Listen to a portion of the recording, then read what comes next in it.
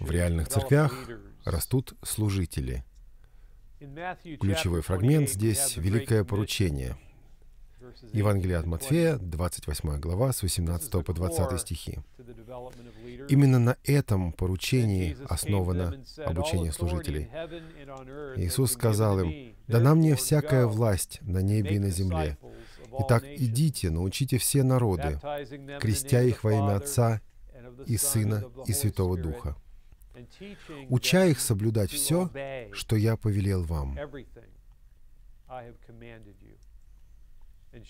И се я с вами во все дни до скончания века.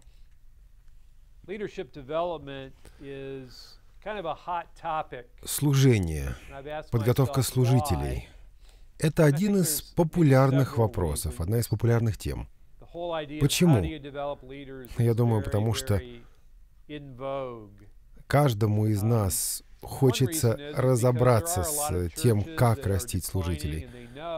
Дело в том, что некоторые церкви, многие церкви уменьшаются, чахнут, потому что служителей или лидеров там нет.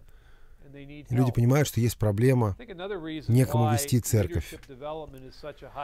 Еще одна причина интереса к обучению подготовки лидеров, подготовке служителей заключается в том, что многие не понимают смысл великого поручения.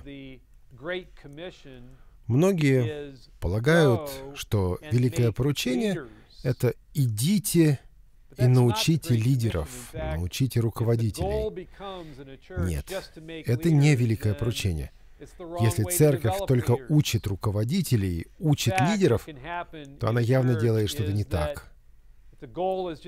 Если наша задача, чтобы были лидеры, чтобы были пасторы, чтобы были пресвитеры, их все больше и больше, то мы начинаем брать людей, которые не готовы руководить, не готовы вести, и мы пытаемся из них вырастить лидеров.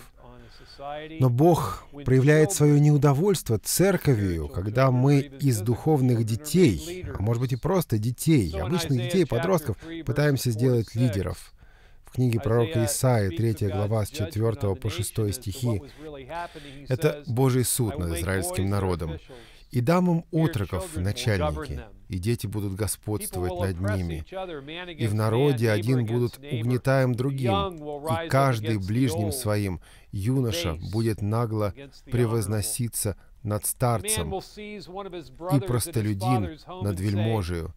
Тогда ухватится человек за брата своего в семействе отца своего и скажет, «У тебя есть одежда, будь нашим вождем, и да будут эти развалины под рукою Твоей». Задача церквей — не бросать духовных детей в руководство, а создавать такую атмосферу в церкви, в которой люди могут расти, в которой люди могут преображаться, проходить через естественные стадии и не попадать в руководство преждевременно. Потому что великое поручение заключается не в том, чтобы сделать из всех лидеров, а в том, чтобы сделать учеников, научить, чтобы мы стали учениками Господа Иисуса Христа. Именно об этом мы читаем в Евангелии от Матфея, 28 глава.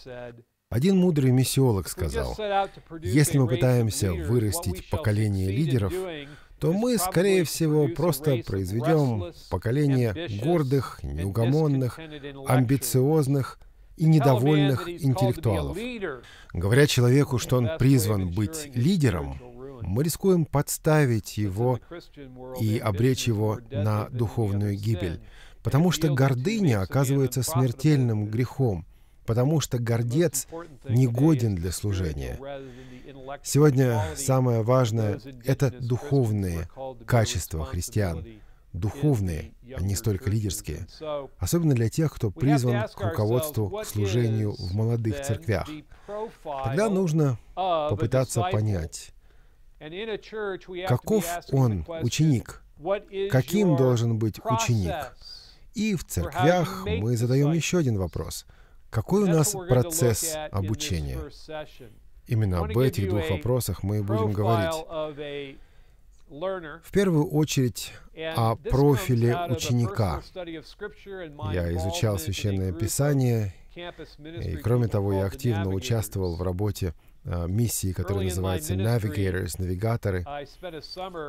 В свое время мне довелось на протяжении лета, всего лета, работать в одном христианском лагере. И каждый день мы изучали Библию. Это было, кстати, очень давно, я еще в колледже тогда учился. Мы тогда читали uh, все стихи Библии, где используется греческое слово «mathetes» — «ученик». Интересно, что это слово появляется только в Деяниях апостолов и четырех Евангелиях. Дальше в посланиях, в Откровении его уже нет, только в Евангелиях и Деяниях апостолов. И вот когда я смотрю на определение слова «ученик» «mathetes», я обратил внимание вот на что. И мне это, кстати, очень помогло. Это иллюстрация колеса. Эту иллюстрацию а, выпускают как раз миссия навигаторы в таких курсах, как Колосинам 2.7. Переведен этот курс на разные языки, и в других книгах вы можете найти эту иллюстрацию. Эта иллюстрация помогает понять христианскую жизнь через um, сравнение с колесом. Жизнь ученика можно сравнить вот с таким колесом. Вот здесь, в этой книге, подробно все объясняется, все излагается. Смысл в том, что внешняя часть колеса — это послушание. Каждый христианин должен быть послушным. Ученик слушается. Иисус учит нас исполнять все Его слова. Значит, послушный христианин, а жизнь в послушании — это, собственно, самое главное. И быть это может только в том случае, если Христос в центре нашей жизни. Мы об этом говорили сегодня в первой лекции. А теперь смотрите дальше. Вот это вертикальное отношение с Богом, и в этих отношениях нужно быть верным молитве и чтению Слова Божия. Вот это наша вертикальная связь с Богом. И горизонтальная связь, горизонтальное отношение — это отношение с неверующими, которые не знают Христа, мы свидетельствуем им, и общение с верующими, которые знают Христа. Вот это такая иллюстрация христианской жизни, иллюстрация жизни подлинного ученика. И каждый из нас, каждый христианин вот к этому призван. Все мы призваны стать свидетелями Христа. 1 Петра 3.15. «Будьте всегда готовы всякому требующему у вас отчета в вашем уповании дать ответ с кротостью и благоговением». Мы говорим о том, что знаем, мы читаем Иоанна 3.11. Наше дело — возвещать о Христе. Когда нас спрашивают не о том, почему ты имеешь такую надежду? Это уж слишком высокий вопрос. А почему ты такой радостный? Почему ты улыбаешься?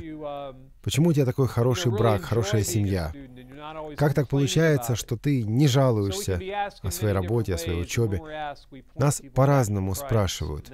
Мы отвечаем, и мы указываем на Христа. К этому призван ученик.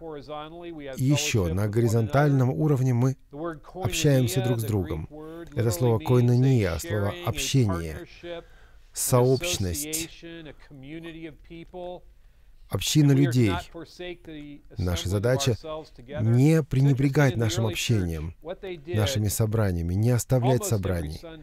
Интересно, что в ранней церкви, в первой церкви, почти каждое воскресенье принимали вечерю Господню, принимали, скажем так, хлебопреломление, и мы в хлебопреломлении вспоминаем смерть Христову, доколе Он придет. Но интересно, что в ранней церкви практиковались так называемые вечери любви. Вы помните, в первом послании к Коринфянам апостол Павел обращается к Коринфской церкви и говорит о том, что вот у них вечери любви, и он говорит, почему вы объедаетесь? Почему вы упиваетесь? Неужели вы не можете удержаться. Неужели вы не можете сначала поесть дома, если вам так голодно? Потому что в ранней церкви получалось, ну, как два а, крыла. С одной стороны, вечери Господня, но с другой стороны, вечери любви. Вот это настоящее общение между верующими людьми. И в здоровых церквях у нас не только вечеря Господня, но также и встречи по домам, Вечеринки, если хотите, да, хорошие христианские вечеринки, совместные обеды, ужины и так далее.